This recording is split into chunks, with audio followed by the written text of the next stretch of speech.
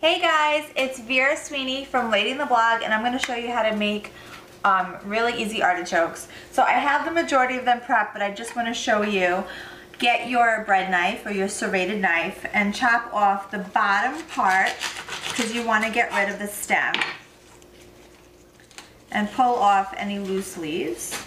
And then you want to pull off, you want to cut off the top as well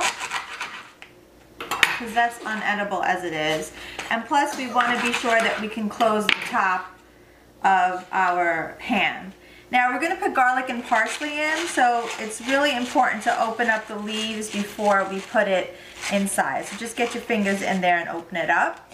I've already chopped one clove per, um, per artichoke and just a bunch of parsley. Now come on over to the pan and I'm going to show you uh, what we're going to do. So what I like to do is I just like to lay them, I'm actually going to have to do this in two batches because I'm going to a friend's house and um, there's a whole bunch of us going. So I can only fit so many in my pan. So I fill the pan with um, half water. I could only fit five artichokes in my pan and then I just drizzle some extra virgin olive oil over the top. I know you're going to ask me for a measurement. I don't have a measurement to give you. I'm sorry. You then are going to just take a handful of garlic and stuff it into the leaves of your artichoke.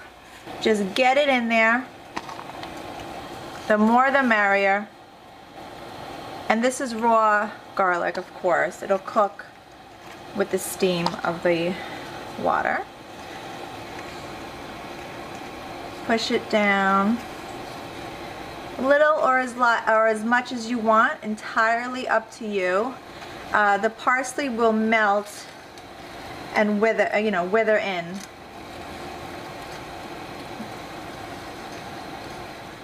Okay, so there is my parsley. You're gonna take some salt and pepper and sprinkle it on top. And this also seasons the water. So that was my salt. And then here's my pepper.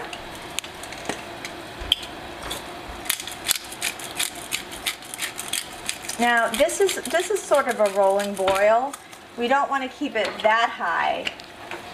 We want to close the lid and bring it down to a low medium and let it go for about 20 minutes. And in 20 minutes I'll show you what we end up with.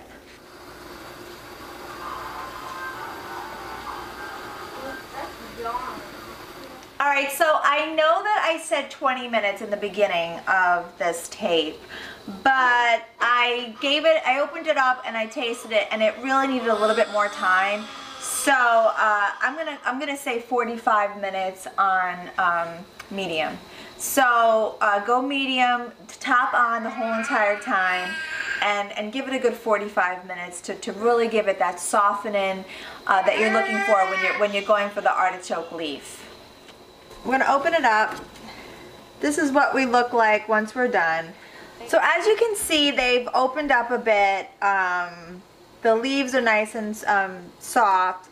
When you pull them out, I like to go sideways a little bit to get some of the water to come out.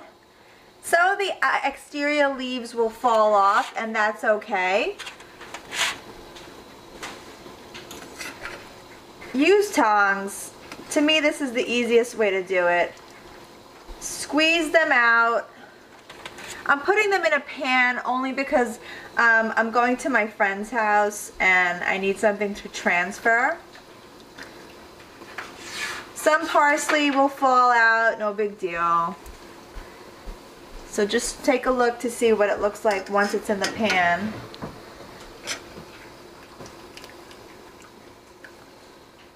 Nice and beautiful. And oh, so good. Um, if you want, you can drizzle a little more olive oil on the top. But to me, these look pretty good. Uh, if you want, just do a little bit, a very light drizzle on the top before you serve. And try to serve immediately. They're they're best when they're served immediately. And you know, the leaves come off and you'll see some garlic and parsley in each of them. They won't be in every leaf, but they will be in the majority of them. And I'm gonna sneak a little one since I made them.